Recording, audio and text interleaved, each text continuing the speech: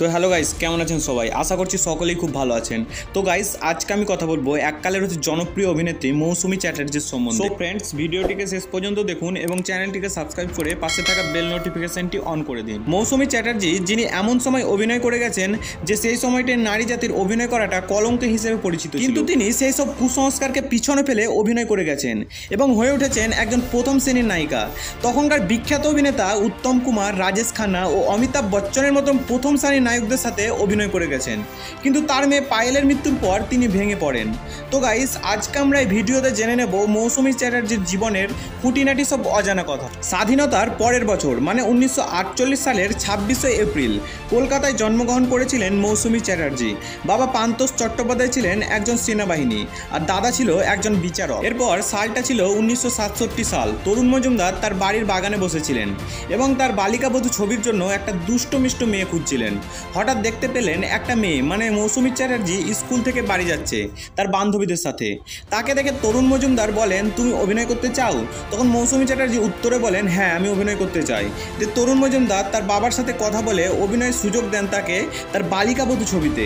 এই ছবির পর কিছুটা খ্যাতি অর্জন করেন মৌসুমী চ্যাটার্জি। এরপর প্রচুর ছবির অফার আসতে থাকে তার কাছে, কিন্তু তিনি সব অফার ফিরিয়ে দিয়ে পড়াশোনায় মন দেন। এইভাবে পড়াশোনা চলতে চলতে তিনি প্রেমে পড়ে যান হেমন্ত মুখোপাধ্যায়ের ছেলে জয়ন্ত মুখোপাধ্যায়ের, দিয়ে তাদের দুজনের বিয়ে হয়ে যায় এবং বিয়ের কিছুদিন পরেই তারা মুম্বাই চলে যান।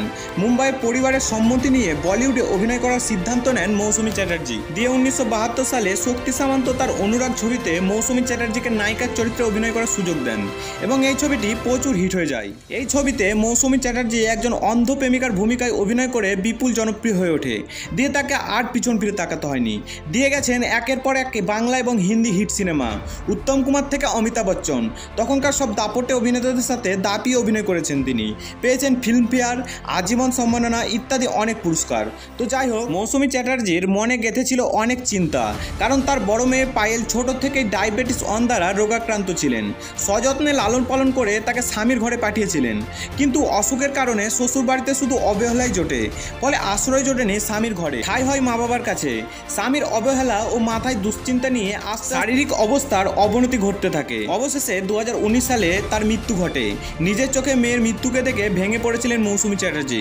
কিন্তু কি আর করা নিয়তি যাকে যেটা দেবে, তাকে তো সেটা মেনে নিতেই হবে। আর তাই তিনি স্বামী এবং ছোট মেয়েকে নিয়ে বেঁচে আছেন।